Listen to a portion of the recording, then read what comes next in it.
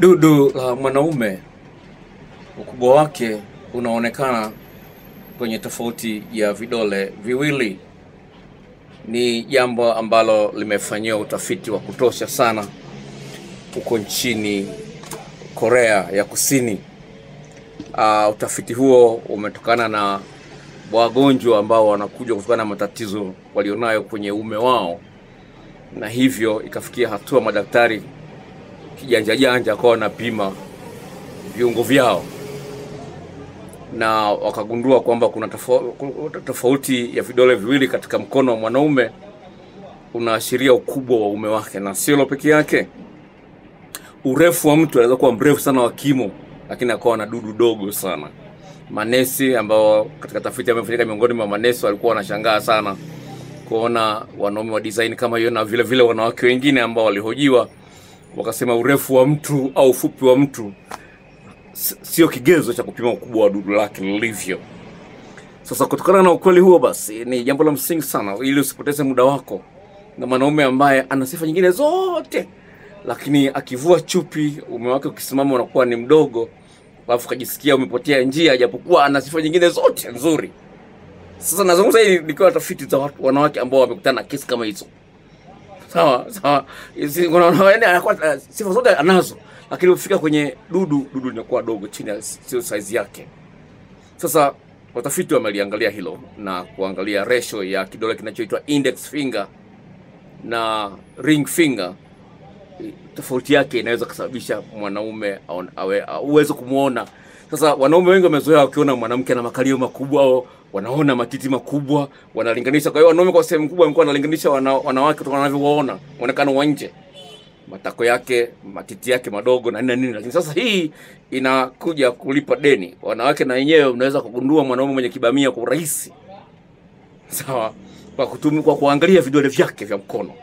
Sawa, la kwanza ambalo kwanza ulifahamu ni kwamba kuna anaweza kuwa anaume mfupi lakini mnene, au unaweza kuwa unene huko kwenye kichwa, huku nyuma ukawa nyembamba kama lungu la polisi, au unaweza kuwa unene huko huku nyuma kule mwisho kwa ndogo ndio inaitwa kibamia kadogo kule kile kwembamba kule kwembamba.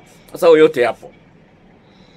Sasa hivi utagundua kwamba mwanaume huyu ana uume mfupi pale ambapo tofauti sawa, index finger ndio hii hiki kidole cha kwanza baada ya gumba sawa, iki hii inaitwa index finger sawa. Tofauti ya kidole hiki na kidole chenye pete ya ndoa. Hivi, sorry, pete ya ndoa hivi, unaona vidole una, hiki cha katikati na unakiminya chini. Sawa. Sasa ukiviweka hivi, urefu kati ya kidole hiki chenye pete sawa, urefu kati ya kidole hiki chenye pete na huu hapa. Ndio unalita maini kwamba yani, yani, yani tofauti iliyopo kati ya kutoka hapa hapa mpaka hapa sawa, tofauti iliyopo ya urefu sawa.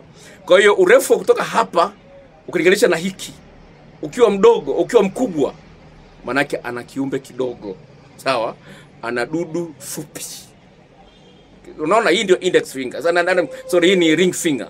Kwa hiyo unalinganisha hiki na hiki vidole hivi viwili hivi. Kwa hiyo ukiona yani tofauti yani hapa kafuna kama kama ingekuwa ni hapa ingekuwa na kibamia. Sawa? Kwa hiyo tofauti unaiangalia kwenye vidole hivi viwili. Sawa? Sasa utakapoona sawa? Utakapoona sasa kwamba sawa? Upana wanaita nani nail nail bed sawa, upana wa hii kucha, upana wa kucha huu ndo unaangalia. Ukiona upana wa kucha ni mdogo, manake na yenyewe ni ndoo nyembamba vile vile, sawa sawa, manake na yenyewe ni nyembamba. Kwa hiyo kuna kuangalia, kwa hiyo kuangalia, kuna kuangalia urefu na wembamba. Hilo ni jambo la msingi sana, sawa, ni jambo la msingi, urefu na wembamba. Kwa hiyo upana wa hii nail bed ni wa msingi kuangalia, ni wa msingi sana, kwa sababu unaangalia, je, katakuwa ni kam, kamnyoo kembamba. Kwa hiyo urefu una vidole hivi viwili sawa, index na hiki. Unene unaangalia upana wa hapa sawa, upana wa hii sawa, eneo la kucha. Hilo jambo la msingi sana. Sasa kidole chake kama unaona juu huku ni kinene, maana yake nambo yake huku juu ni nene. Sawa? Ukiona huku huku huku ni kwembamba maana yake huku ni huku yake huku ni kwembamba, huku chini ni kunene.